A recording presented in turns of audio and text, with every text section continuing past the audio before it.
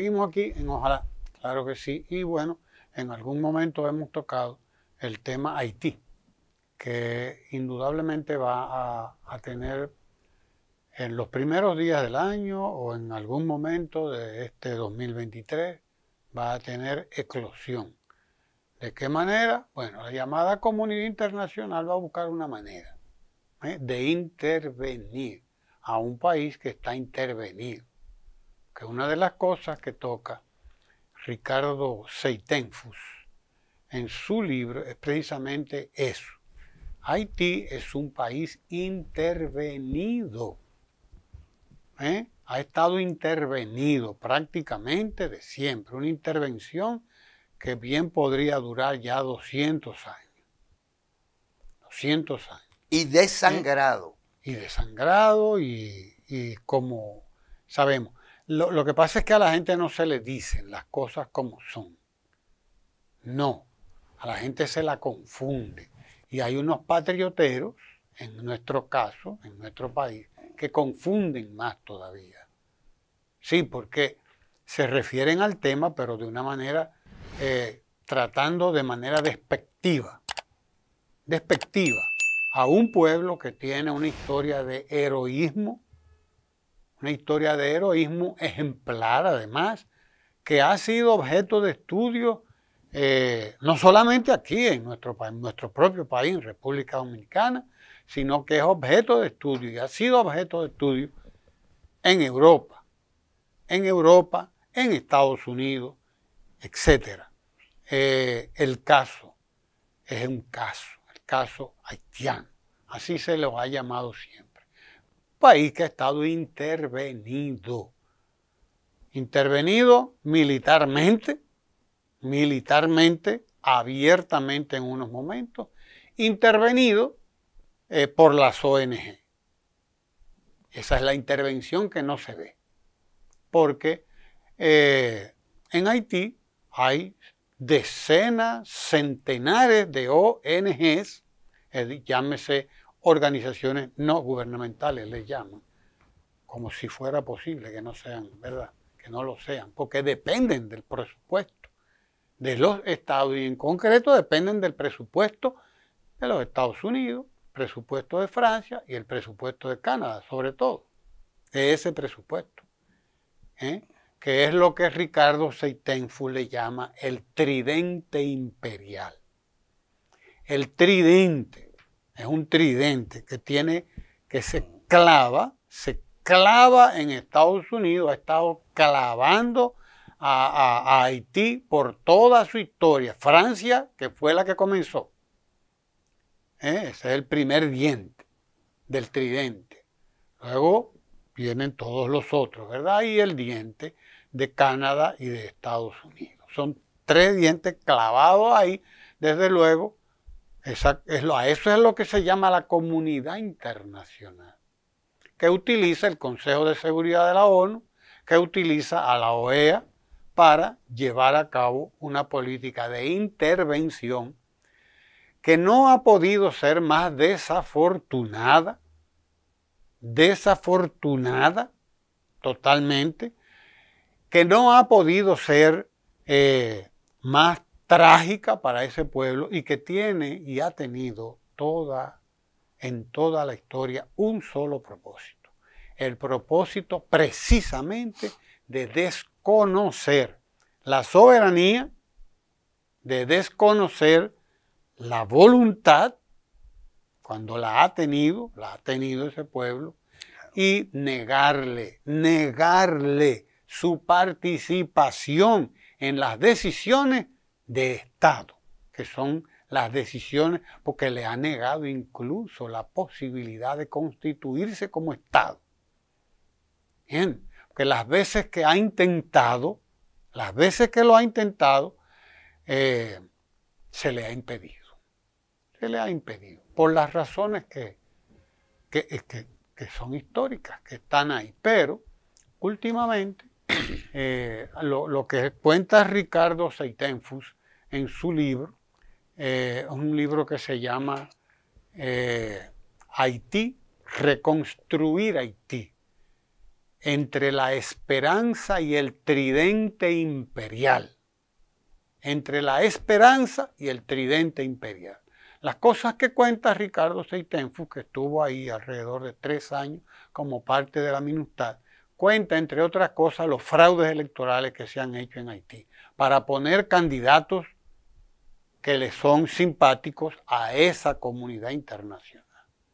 ¿Eh? Fraudes, los golpes de Estado que se han llevado a cabo, por ejemplo, los golpes de Estado que se llevaron a cabo contra Aristide, precisamente. Porque eh, el momento que la Balaz, el movimiento Familia La Balaz, que es un partido en Haití que gana las elecciones con un 70%. Sin embargo, poco tiempo después no se le permite ni terminar el periodo presidencial a Aristide porque le está cayendo antipático a la comunidad internacional, entonces hay que darle una patada que caiga en Sudáfrica. Y así fue, así fue. A Aristide fue a buscarlo el embajador de los Estados Unidos a su casa. ¿eh? Y cuenta Ricardo Seitenfus ahí, y dice, ¿usted sabe por qué yo estoy aquí? Y Aristide le dice, claro que sí, ¿cómo no voy a saber? Porque usted, así mismo dice, claro que sí, yo sé por qué usted está aquí. Hay un avión esperándolo ahí, efectivamente. Y lo mismo le pasó a René Preval. Lo mismito. Fueron a decirle en un momento, mire, hay un avión esperándolo ahí. A usted dice, bueno, si ustedes me ponen a escoger entre Allende, así le dijo Preval. Y lo cuenta Seitén fue ahí, que era un gran amigo de Preval. Fue un gran amigo de Preval. Y, Preval le dice, ahí dice, bueno, si ustedes me ponen a escoger entre Aristide y Allende, yo ahora voy a ser Allende y tuvieron que dejarlo terminar el poco tiempo que le quedaba. Sí, porque la crisis iba a ser peor entonces.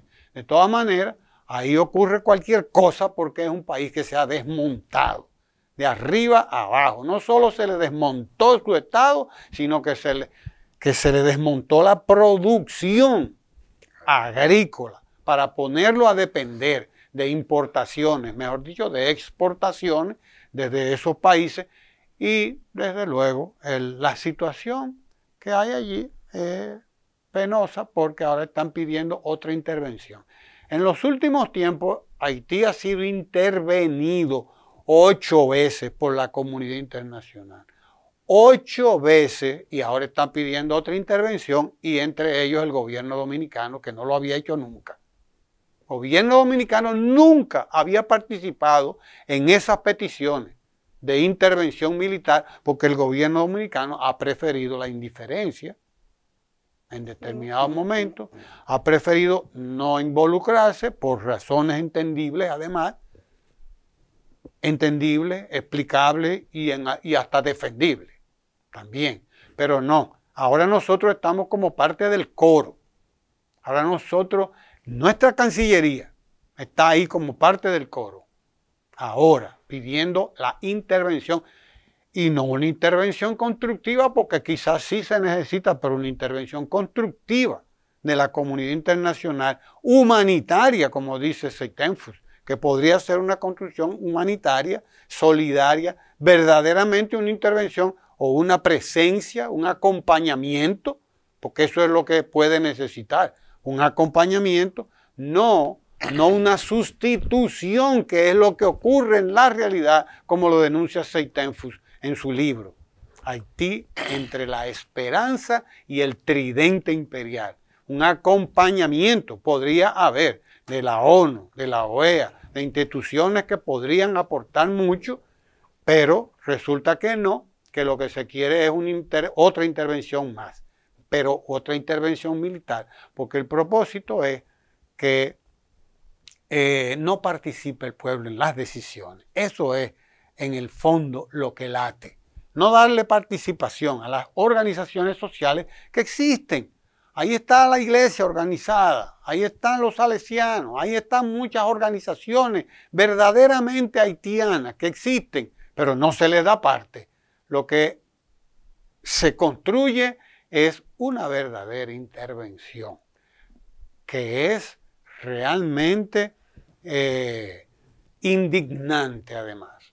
Cuando uno lee este libro, lo recomiendo. Eh, aquí hay una edición que la hizo la Fundación Juan Bosch hace unos años, en 2016, hace seis años ya. Eh, creo que no está en el mercado, pero que puede conseguirse en Internet. Se llama Reconstruir Haití entre la esperanza y el tridente imperial. Y puede verse cómo el fraude electoral que se, se hizo, por ejemplo, para un, caso patético fue cuando eh, en el 2010 se hace, eh, poco después ya del gran terremoto, al final del año, en noviembre, se convoca a, las elecciones para que haya un, recambio, porque ya Preval cumplía su, su periodo y desde luego la familia Lavalaz estaba otra vez dominando. Estaba dominando la votación. Yud Celestán o Celestín, como le quieran decir, creo que pronuncian Celestán, ¿verdad?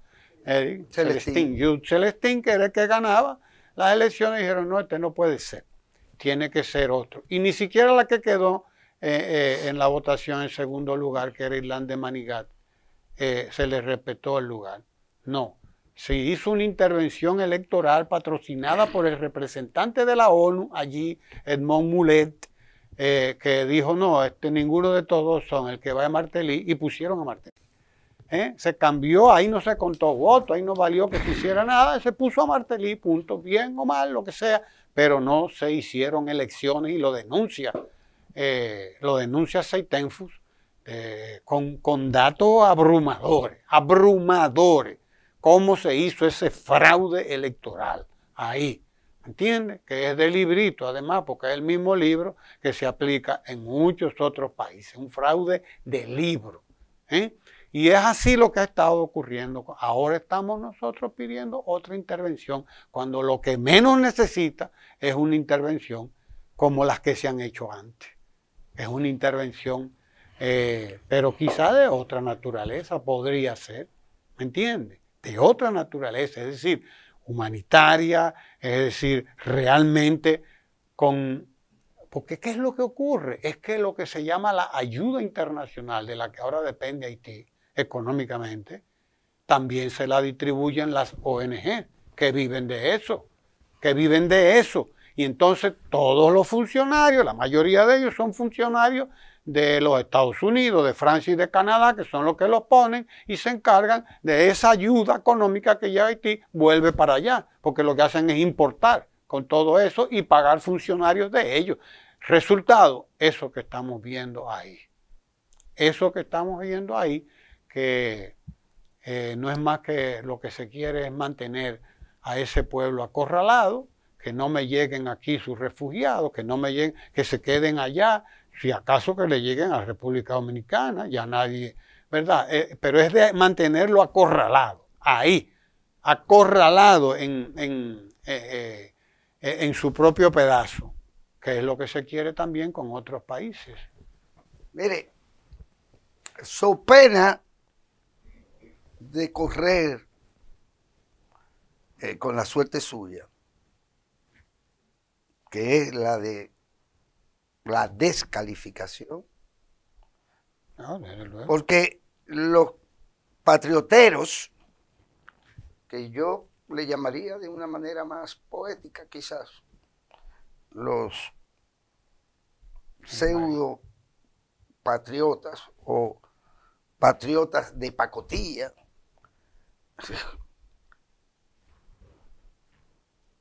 descalifican a todo no haitiano, sino a todo dominicano que tenga, ah, que, tenga ¿eh? una visión que tenga una visión distinta.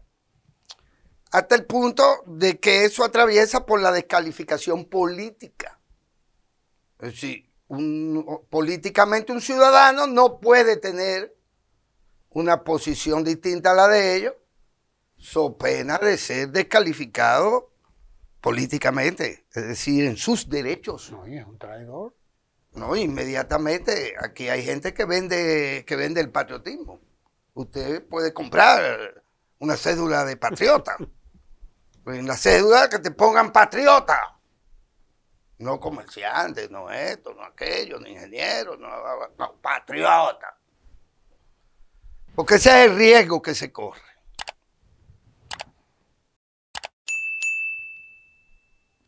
Quiero por igual ser solidario con el enfoque suyo, pero hacer algunas acotaciones.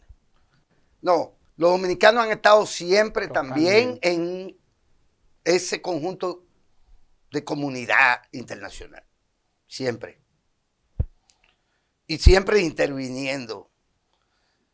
Y todas las intervenciones son eh, odiosas. Porque lo primero que usted tiene que reconocerle a cualquier pueblo convertido en nación es su libre determinación, su soberanía, su soberanía. Y lo segundo es hacer la distinción entre un pueblo y sus élites. Una cosa son las élites económicas y sociales. Que están ahí. Que están ahí, han estado ahí siempre. Siempre. Y en el en, eh, eh, desde el punto de vista histórico, dejar claro que el pecado original del pueblo haitiano y sus grandes próceres, que los tienen, nos gusten o no, nos hayan hecho alguna travesura o algunas maldades o algunas acciones incalificables. Los tienen, próceres de su nacionalidad y de su integridad y de su soberanía. Lo primero que le hicieron fue, eh, después de haber derrotado al famoso, aquel cuñado a Leclerc, cuñado de Napoleón que ya estaba en su decrepitud, que creyó que podía seguir eh, siendo el imperio francés. fue y acompañado de todos los demás que hoy siguen llamados como comunidad internacional, le pusieron a pagar por su independencia. Pero a pagar lo que no se le eh, exigió a ningún otra, otro pueblo pagar, literalmente, pagar. Ustedes, pueden, pero ustedes me tienen que pagar lo que no tenían. Lo que no tenían y ni siquiera podían contar con lo que quizás estaba de este lado y que podía haberles ayudado. No pudieron. La sobrevivencia de esa nación, de ese pueblo, ha contado, por lo tanto, desde el principio con el designio de la maldición de los franceses, de los canadienses que vienen siendo una cosa más o menos similar,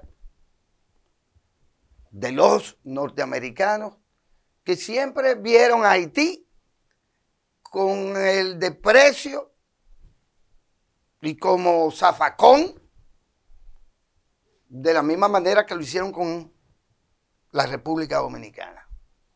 Porque en el 1915 no es a República Dominicana que invaden, es Haití. Y por ahí entran ya en el 16 abriendo trocha y nos invaden a nosotros los norteamericanos.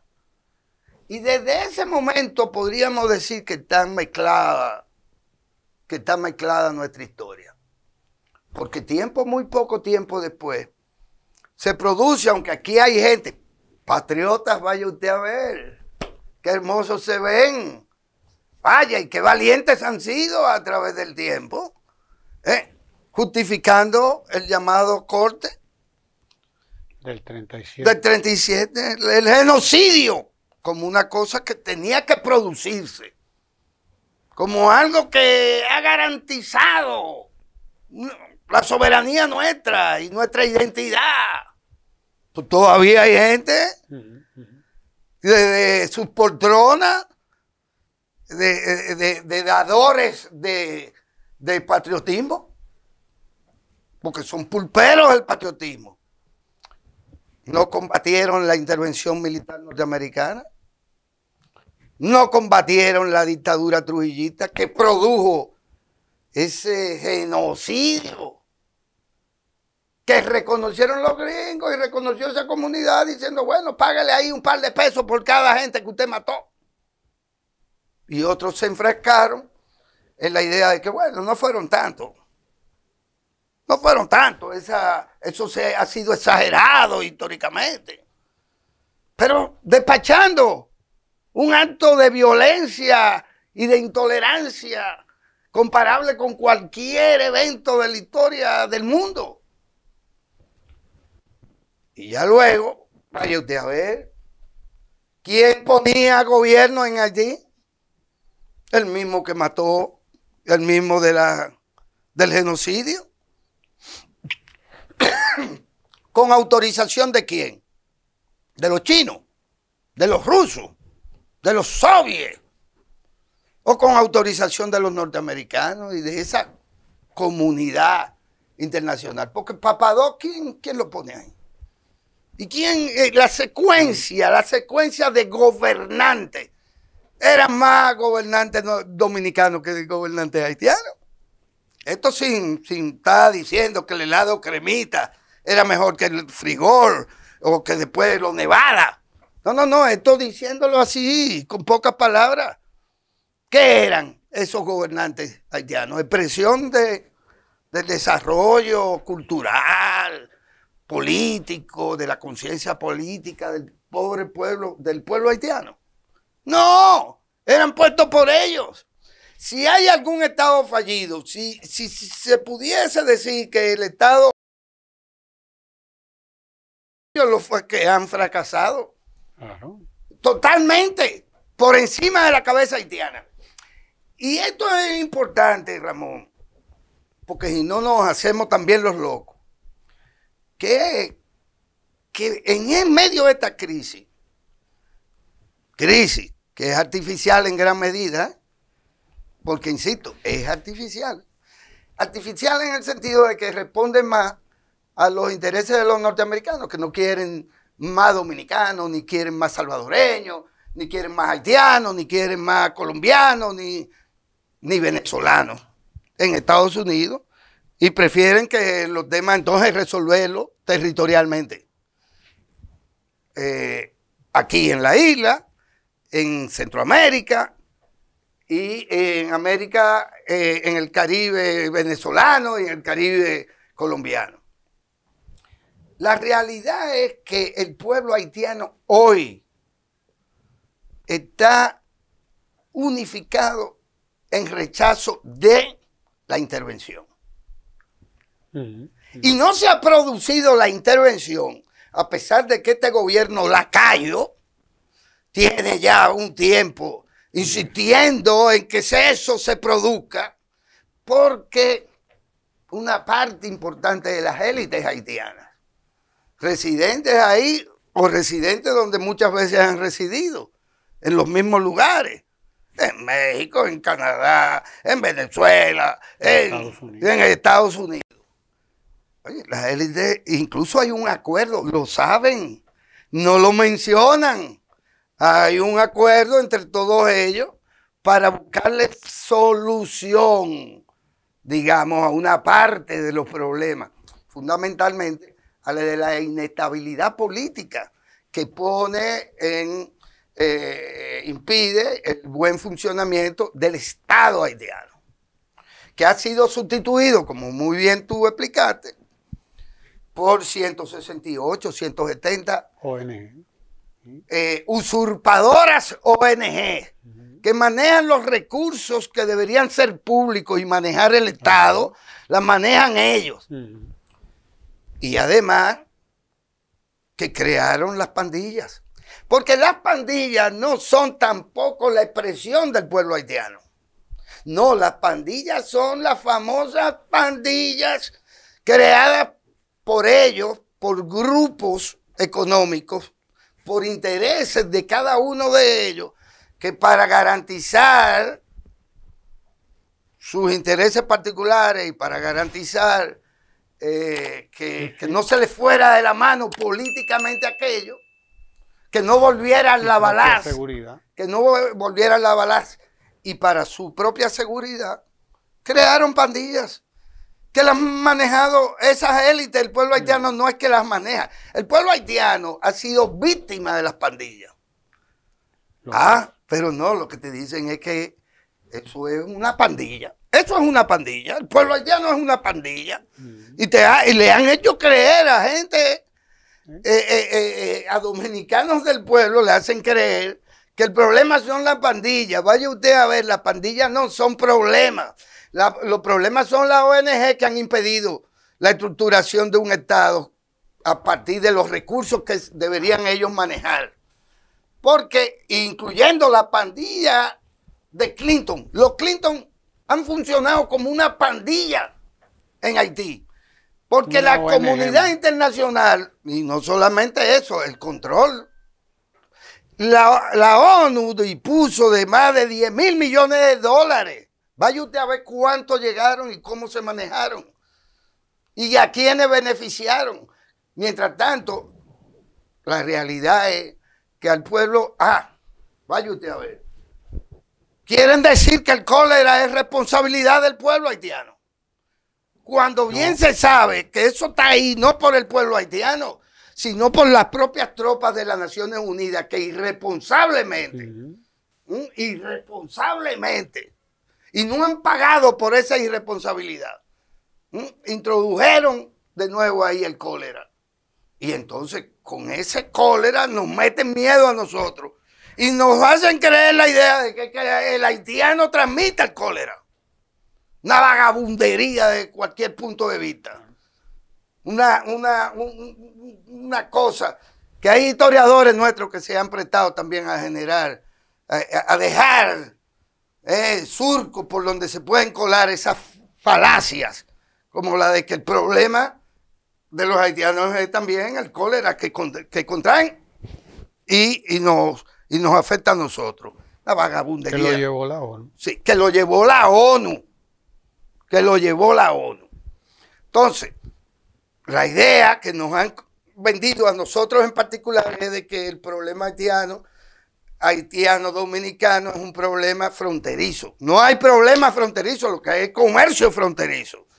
Y como cualquier comercio fronterizo, y me da trepito que los patrioteros de pacotilla y de todo eso nos digan a nosotros y a mí particularmente, en el terreno que sea, que nos digan lo que quieran.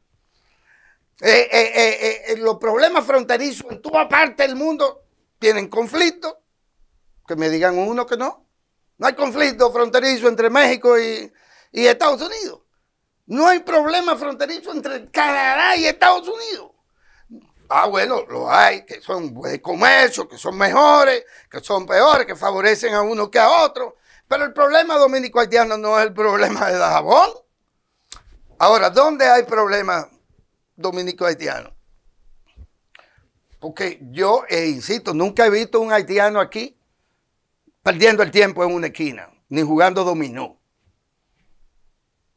ni asaltando. Todo eso es mentira. Es una vagabundería decir que la inmigración haitiana que viene a trabajar y trabaja y aporta y por eso puede remesar hacia allá también. Ah, porque las remesas son buenas y no las mandan a nosotros, los dominicanos. Pero si ellos mandan remesas para allá, no, soy coño, sacando los recursos, sacando la divisa, mandando, eh, eh, eh, no, trabajando aquí. Porque no es lumpeneando en, en los barrios que yo veo a los haitianos o que están los haitianos. Es trabajando. Y todo el que diga eso no es más que un charlatán que diga lo contrario. Entonces, eh, el, tema de Haití es el mismo. Hay que ser solidario con el pueblo haitiano. Y para eso hay que exigirle a los norteamericanos que saquen su nariz y que dejen de intervenir allá, que igual lo hacen aquí por vía de allá y de tridente imperial. Ese tridente imperial. Y no, no han podido intervenir y por eso felicito al pueblo haitiano, porque sus élites, por primera vez probablemente, están de acuerdo en que no, no debe producirse una intervención. Y eso se debe a esa denuncia que hizo Ricardo Seitenfus. Digo yo, que lo hizo responsablemente, que escribió un libro valientemente, que vivió allí, que vio la experiencia, que la denunció con pelo y señales, con nombre, aunque eso le costó el puesto incluso, porque le dieron eh, eh, el, jefe de la, de la OEA en aquel momento, que era, y, el propio Ban Ki-moon, que era en ese momento el que encabezaba la ONU, le, dieron horas. Usted tiene que salir ya.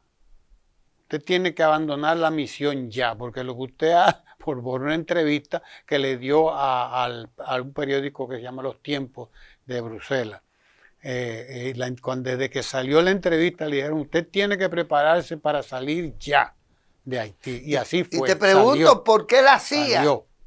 Que para algo debería de servir. ¿Por qué la hacía el FBI? No le han dicho al mundo quién mató y por qué y cuáles son las conexiones del asesinato de Mois. Así es. ¿Por qué? Porque eso está ahí. Entonces, la verdad que lamentablemente seguiremos con este tema a lo largo probablemente de un tiempo de 2023 porque el gobierno dominicano está dispuesto a usarlo como campaña electoral también. Y entramos por Haití porque no tenemos otro lugar por donde entrar. como dijo... Como dijo Sánchez. Exacto. A quien también quisieron embarrar de, la manera más perversa. Sí, señor. Francisco de Rosario Sánchez. De esto seguiremos hablando, así que usted quédese ahí en Tele Santo Domingo y síganos en nuestra plataforma eh, por las redes sociales también. Hasta pronto.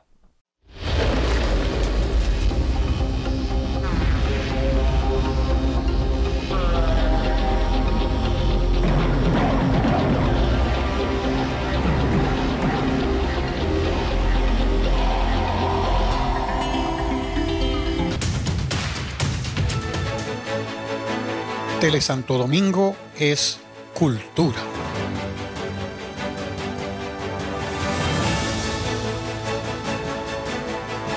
En Tele Santo Domingo somos historia.